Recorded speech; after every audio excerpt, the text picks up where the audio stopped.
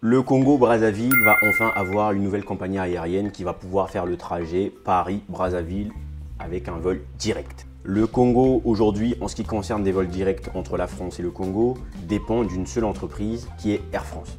Air France qui fait toujours sa princesse, hein, avec des, frais énormes, on sait, hein, les, tarifs aujourd'hui de Air France, vraiment c'est très compliqué. Le Congo a donc trouvé une petite solution. C'est ce qu'on va voir dans cette vidéo. Mais avant de rentrer dans le vif du sujet, si vous venez de découvrir la chaîne Terre Noire, sachez qu'ici on parle d'Afrique, de noir, de tous les sujets qui tournent autour de l'africanité. Si ce genre de sujet vous intéresse, n'hésitez pas à vous abonner à la chaîne Terre Noire. Jingle.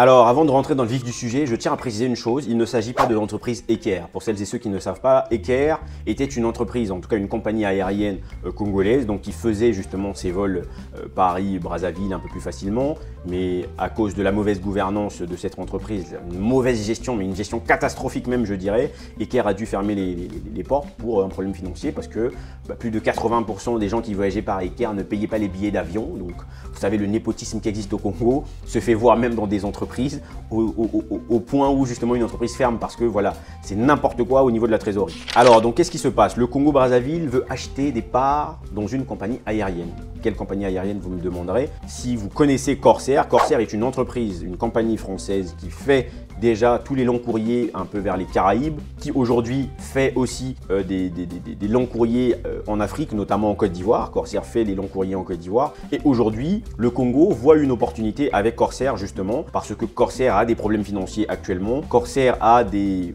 investisseurs qui aujourd'hui veulent lâcher l'affaire, et donc ces parts doivent être achetées par euh, bah, d'autres personnes. Et le Congo, Brazzaville, s'est donc proposé d'acheter une partie de Corsair pour pouvoir rentrer dans le deal. Et en plus de ça, veut passer un deal avec Corsair pour pouvoir un, effectuer des trajets entre Paris et Brazzaville directement. Premier avantage que ça va donner, c'est qu'il y va avoir un peu plus de concurrence, donc on espère au niveau d'Afrique centrale qu'il va avoir de la baisse des billets. Deuxième avantage, c'est qu'il va y avoir un nombre un peu plus conséquent de vols aussi qui va y arriver. Pendant que cette vidéo est tournée, il n'y a pas encore de validation parce que euh, Corsair doit avoir des validations auprès de la France, auprès de l'Union Européenne pour accepter ce deal et accepter qu'il y ait des allègements parce que Corsair a un certain nombre de dettes euh, par rapport euh, à tout ce qui s'était passé pendant le Covid. Alors je vous mettrai les liens en description si vous voulez découvrir un peu plus sur la situation en elle-même. Air France va donc encore pleurer comme d'habitude. Je sais pas, pour les personnes qui ne savaient pas, il paraissait qu'il y avait eu un communiqué où Air France décrivait qu'il y a trois autorités au Congo-Brazzaville qui apparemment prennent un pourcentage dans chaque billet d'avion pour Air France. Bon, personne n'avait compris cette politique. On ne sait pas d'où cette taxe avait été faite. Alors, il n'y a pas eu d'information confirmée, un message de Air France que j'ai vu, de contractuel, mais en tout cas, déjà, ça laissait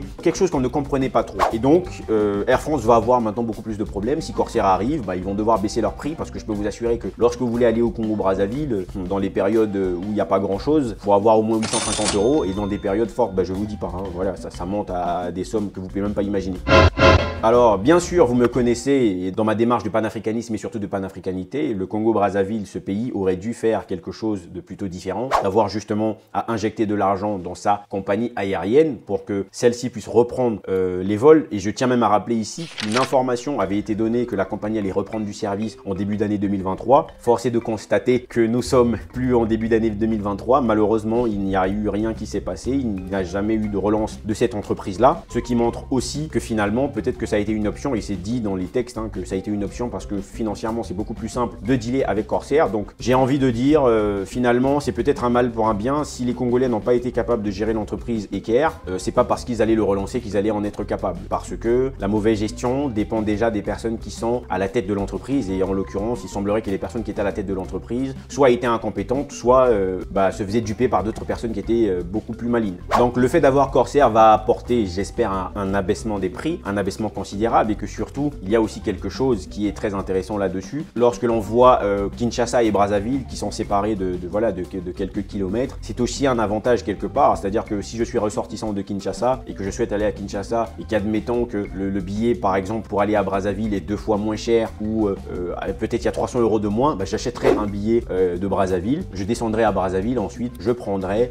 par là un bateau pour aller à Kinshasa. C'est à peine en quelques minutes qu'on arrive à Kinshasa. Donc financièrement, ça représente représente un bel atout. De même qu'effectivement, les vols à Kinshasa sont souvent un peu moins chers. Donc autant parfois aller à Kinshasa et ensuite traverser par le feu pour arriver à Brazzaville. Ça fait toujours à certains des économies. Donc ça aussi, on, garde l'information en tout cas de plus près. On essaie d'attendre déjà pour voir sur cette zone-là est-ce qu'il va y avoir des confirmations. Et comme j'ai dit, dans la description, je vous laisserai des liens qui vont vous permettre de suivre un peu plus l'information, de comprendre la profondeur du sujet. En tout cas, une chose est sûre, c'est que c'est malheureux que tous ces pays de la sous-région, il n'y en ait aucun qui ait la capacité de créer une compagnie aérienne. Hein. Bon, on sait ce qui s'était passé à l'époque de Air Afrique. Air Afrique qui n'existe plus à cause des stupidités des chefs d'État africains. Je suis désolé, les chefs d'État africains, en tout cas les personnes qui ont pris des décisions à ce moment-là, étaient tellement stupides que c'était un fantasme pour eux de chercher à avoir des destinations euh, de Paris entre, euh, entre tous les pays finalement de Air Afrique. Alors que Air Afrique est censé être destiné d'abord pour les trajets en Afrique. Malheureusement, euh, vos présidents, vous savez, le célèbre fan de la France, Oufouette Boigny, le premier qui avait dit qu'il faut que ce soit géré par un blanc parce qu'en l'occurrence, si c'est un noir, ce sera du n'importe quoi. Et en plus, les autres chefs d'État qui, eux, voulaient tous maintenant qu'il y ait un trajet.